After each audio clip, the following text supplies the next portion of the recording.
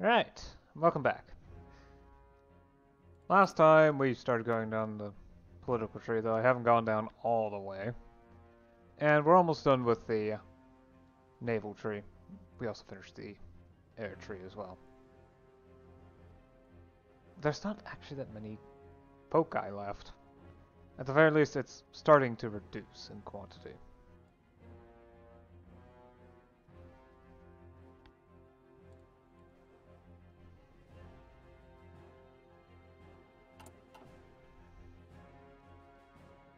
Yeah, we started going down India.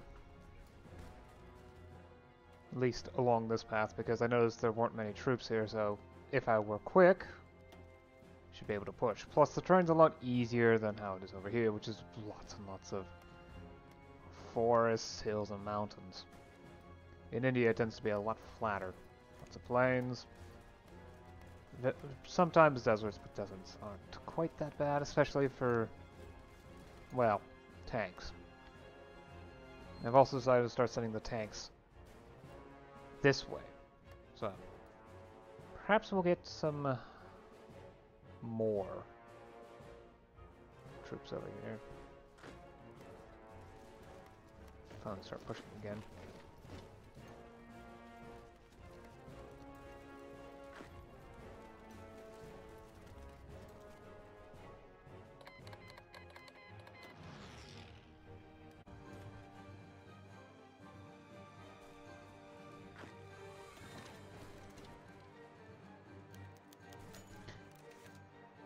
On a hot summer day in July of 1924 in Guangdong, the first of all Guangdong Peasant Conference. The first all Guangdong Peasants Conference was held, in which thousands of peasants were invited to participate in the KMT's mass movement. Madame Sun Yat-sen, Sun Qingling, found herself moved to tears at seeing the masses march in their rags to experience in the pursuit of national salvation. Indeed, the late Eternal Premier remarked that the revolution's success begins with the people. The revolution is part of their duty to achieve liberation. Many years later, the National Revolution has reached its concluding stages. The orthodox faction of the Chinese Syndicalist Party dominated the policy of the United Front with the League of Chinese Syndicalists. This alliance, the cooperation with the European Syndicalists, has led to the victory of the Chinese Revolution. None can stop the advance of the workers and peasants. Despite this, the country is still effectively under the control of the KMT. They organize unions and associations, and they are the elder sister in the relationship between the two parties. It remains to be seen whether or not this relationship will continue as it is now, whether or not the Chinese syndicalists will gradually find themselves absorbed into the larger KMT, or the KMT shall continue to see more of its principles diluted by the allure of syndicalism. Nonetheless, there is much to rejoice in the coming years. Long have the workers and peasants toiled and suffered by the establishment of capitalism, the imperialistic institution that has divided the country and brought it to ruin. With a revolutionary committee in charge, a committee made up of representatives of the workers and peasants, never again shall capitalism emerge in China. Together, hand in hand, a new socialist dawn rises in the east, with the Chinese proletariat leading as its proud vanguard. A partnership to last. And that is the setup for the future of China, which is outside the scope of Kaiserreich. Of course, there's still stuff to be done. I can continue working on the liberation of the world, hand in hand with the Internationale. Plus fight off Japan once again.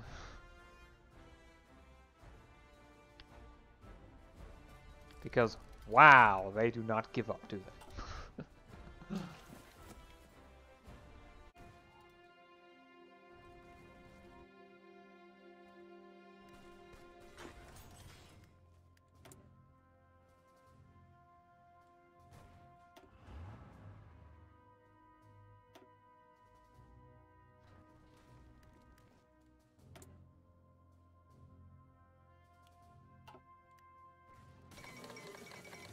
Ah, that was enough for the Princely Federation to capitulate.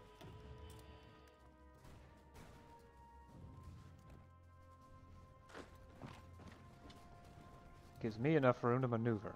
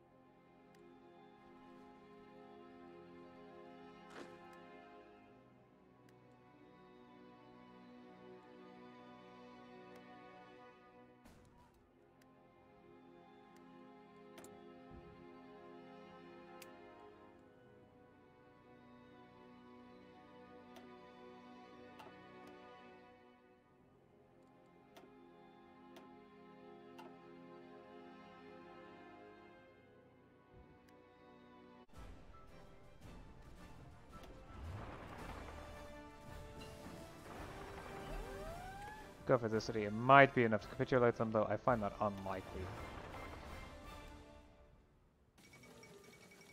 Well, Bangkok is ours. Okay.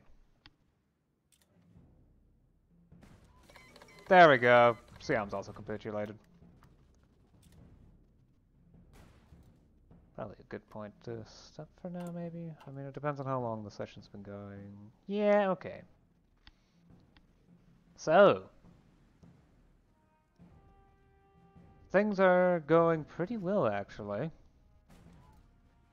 The India push was the right decision. It definitely was, especially bringing in tanks. I was able to just breeze on in. And as they were moving troops away in order to try to handle this, area several areas got weaker. Got to the point where pretty much anyone could be naval invaded. And that's what happened. Naval invasions galore. Courtesy of the US as well as Mexico. So, thank you, you two. You did a great job.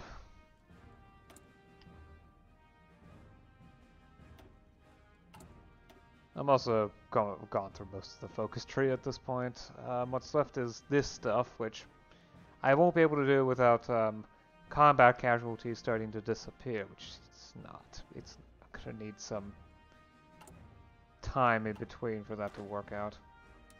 Now that I think about it, I probably should start setting up coastal garrisons in India. At least for the duration of the war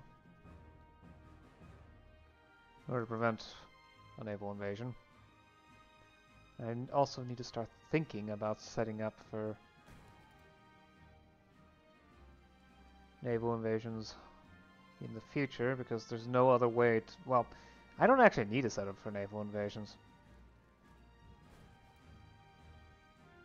By their nature, the US has consistently proved that they're very capable of this sort of thing. So I'm just going to set up so they would probably be able to do all that on their own. No trouble whatsoever.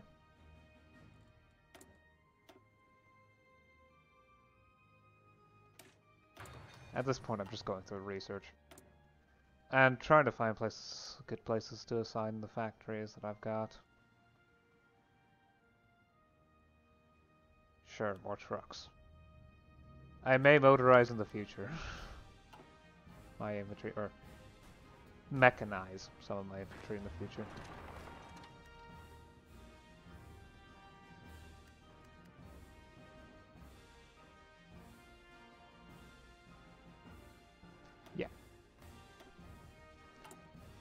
So the legitimacy of the party has shifted to a party of peasants and workers. The party has finally been reorganized and is led by those who truly do bear the burdens of the national revolution, the true proletariat. Under the leadership of the KMT, the peasants and workers have been organized so that they are able to stand strong and tall against imperialism and against domestic bullies. While the future of socialism very much lies in the future, we are hopeful that th through our socialist policies and our encouragement of class unity, that socialism will arrive and bring equality to the people once and for all. Yeah, there's not many foci left. There's this one right here which three out of four paths for the um, PAC can do, which is, yeah.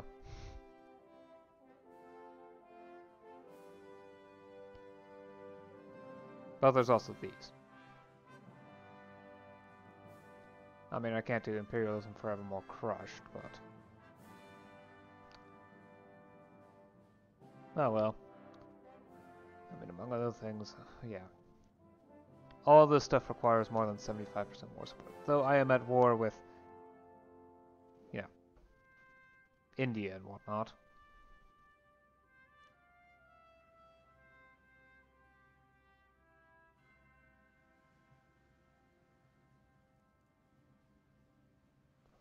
Bypass these.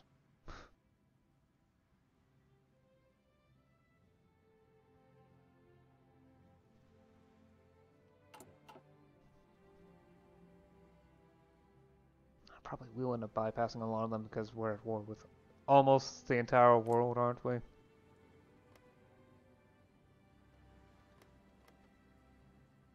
Yeah.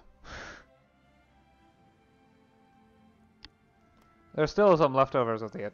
Okay, yeah, there's a couple leftovers in the Entente. It's... France, the Kingdom of France, Morocco, and whatever is left of Portugal. Yeah. The Reichspakt is a lot more put together, that's for sure. But I'm sure my allies will be able to pull through with naval invasions, especially if they get help and support from me.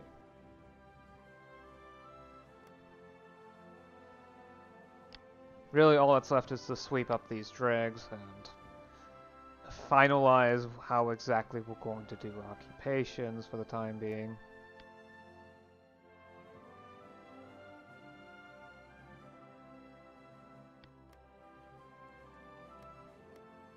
eventually go ahead and set up, well, for lack of a better term, puppets once the war is over, with the co-prosperity sphere.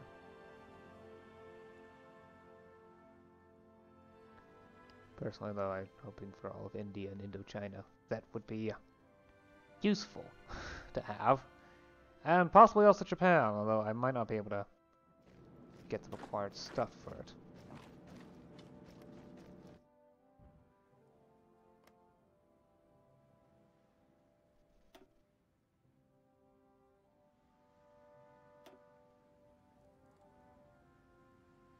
But yeah, that's all for now. I mean, over here, things have stabilized for the moment, but supply is still extremely bad in these areas.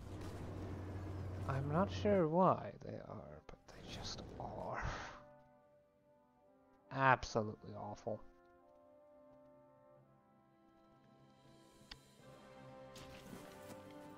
I'm trying, but there's only so much I can do with that especially since, well, the Navy's starting to get contested. My basic Navy is actually pretty strong. I do need to upgrade some things, specifically I believe I need to retrofit, yeah, training cruisers. Need to be refitted into modern heavy cruisers.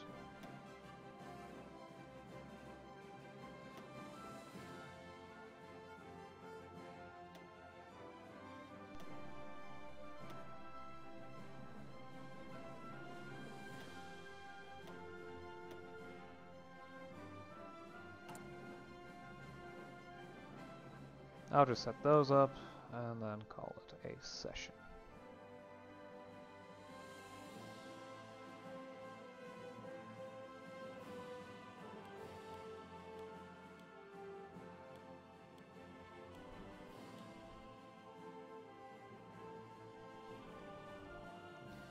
Though that's gonna eat through my iron for a while. my steel.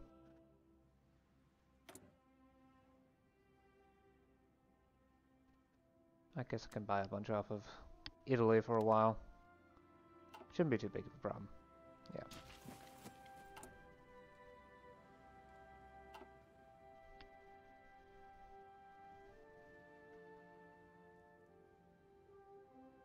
Build a couple radar stations too, because why not?